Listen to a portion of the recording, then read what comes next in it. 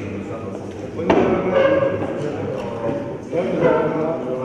Fare impresa significa scommettere nello Stato e combattere insieme per prevenire e reprimere l'abusivismo e la contraffazione a favore della concorrenza leale. Così il sottosegretario all'interno Giampiero Bocci, che si è recato in prefettura a Pesaro per sottoscrivere il protocollo d'intesa per la legalità e la sicurezza delle imprese. Un documento che è stato firmato insieme al prefetto Luigi Pizzi e ai presidenti provinciali della Confcommercio Imprese per l'Italia, Confesercenti e del direttore territoriale del lavoro.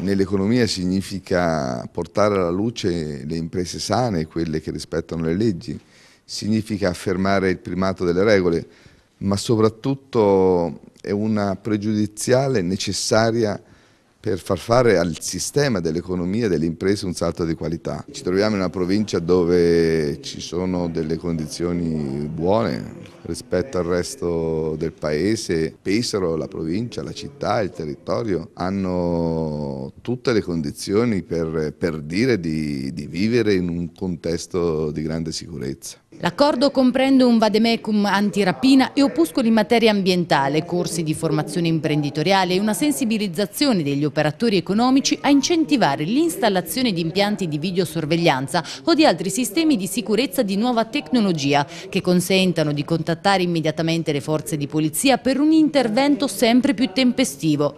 Questo risultato, ha detto il prefetto Pizzi, può essere raggiunto solo grazie ad una collaborazione tra le istituzioni pubbliche e private del territorio territorio. Soprattutto per quanto riguarda l'usura la difficoltà maggiore è quella della emersione, stante la nota purtroppo come dire, complicità tra la vittima e l'autore del reato, il che rende sempre difficilissimo l'individuazione del reato stesso e la punizione quindi dei responsabili. Però devo dire che per quanto riguarda la provincia di Pesaro Urbino, questi fenomeni non si sono evidenziati, mentre è importante soprattutto l'azione di prevenzione della contraffazione e la tutela dell'ambiente.